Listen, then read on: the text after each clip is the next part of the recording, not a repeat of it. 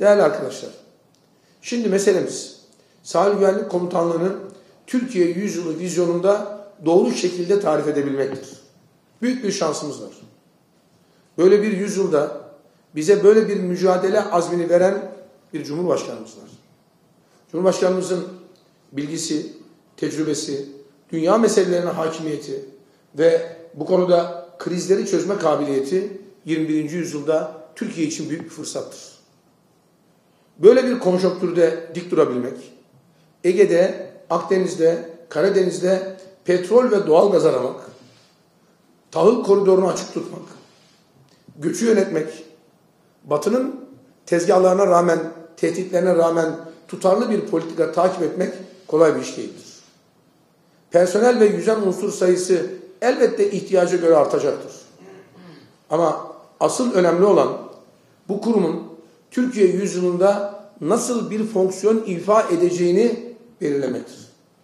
Şurası bir gerçektir ki dünyadaki hiçbir yenilik, havacılık dahil hiçbir ulaşım türünde yaşanan gelişme denizlerin önemini bir nebze olsun azaltmamıştır ve azaltamaz. Hem ticari açıdan, hem güvenlik açısından, hem ülke ekonomisi bakımından denizlerimiz dünden daha önemlidir. Yakın gelecekte küresel göçün bitmeyeceği düşünülürse, öte yandan Karadeniz, Ege ve Akdeniz'in enerji havuzumuz haline gelmesi düşünülürse, bir yandan küresel uyuşturucu rotası, kaçakçılık rotaları, Libya, Kuzey Kıbrıs, Türk Cumhuriyeti, Yunanistan gibi konular düşünülürse, keza Ege ve Marmara'da artan afet riski göz önüne alınırsa, Sahil Güvenlik Komutanlığımızı Türkiye'nin mavi vatan politikasının başat aktörlerinden biri haline getirmenin gerekliliği bir hedef olarak kendiliğinden ortaya çıkacaktır. Türkiye yüzyılının Sahil Güvenlik Komutanlığı açısından bir diğer vizyonu, muhakkak ve muhakkak diğer kolluk birimleriyle yakaladığımız entegrasyonu her anlamda en yüksek seviyeye çıkarmak olmalıdır. Daha fazla ortak operasyon, daha fazla istihbarat ve bilgi paylaşımı, daha fazla kapasite paylaşımı önümüzdeki sürecin en önemli özelliklerinden birisi olmalıdır. Türkiye yüzyılı Sahil Güvenlik Komutanlığı'nın kordon bölüklerinden başlayan tarihinde adının en çok duyulduğu, dünyada en çok tanındığı, en yüksek kapasiteyi kullandığı ve sadece Türkiye'nin değil tüm insanlığın kaderi üzerinde etki ettiği bir dönem olacaktır. Bu salondaki herkes biliyor ki bu ülkenin de bu teşkilatın da sahil güvenlik teşkilatının da bunu yapacak kapasitesi, tecrübesi ama en önemlisi tarihinden gelen bir ruhu ve geleneği vardır. Dönem dönem farklı olaylarla karşılaşılıyor olabilir. Bu farklı olaylar bizi rotamızdan ve çizgimizden asla geri döndürmeyecektir. En son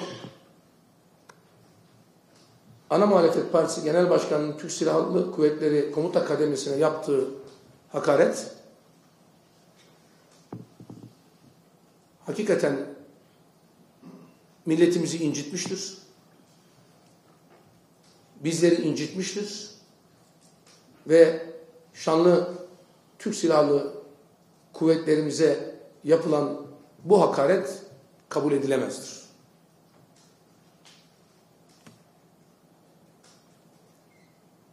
Ya kişisel bir problem vardır, bir ruh sağlığı problemi ya da obüslerin ortaya koyduğu gelişmişlikten ve Türk Silahlı Kuvvetleri envanterine girmesinden kaynaklanan birilerinin hazımsızlığının sözcülüğü vardır.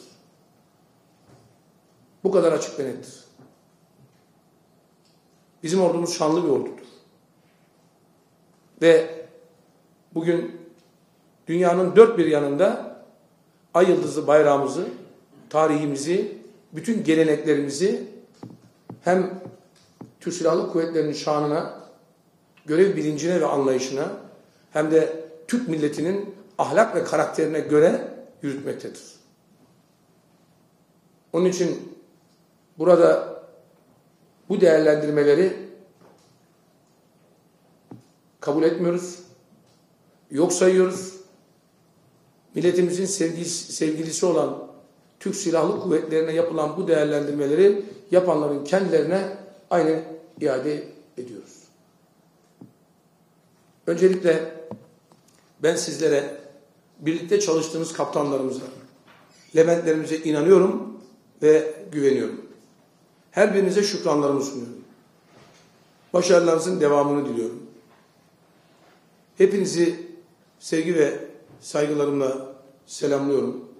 Bu değerlendirme toplantısından elde edeceğimiz sonuçların hem mavi vatan politikamıza hem de başarılı bir şekilde yıllardan beri görevini icra eden sahil güvenlik komutanlığımıza olumlu neticeler kazandıracağına tecrübelerinizin, bilgilerinizin, görgülerinizin, dünyadaki değişimleri takip eden anlayışınızın bu toplantıya yansıyacağına, ihtiyaçlarımızın bu toplantıya yansıyacağına inanıyor.